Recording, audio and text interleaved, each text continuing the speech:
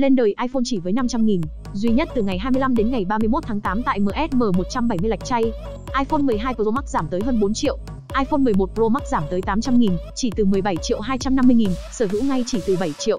iPhone 11 chính hãng VNA giảm còn 13 triệu 350 nghìn.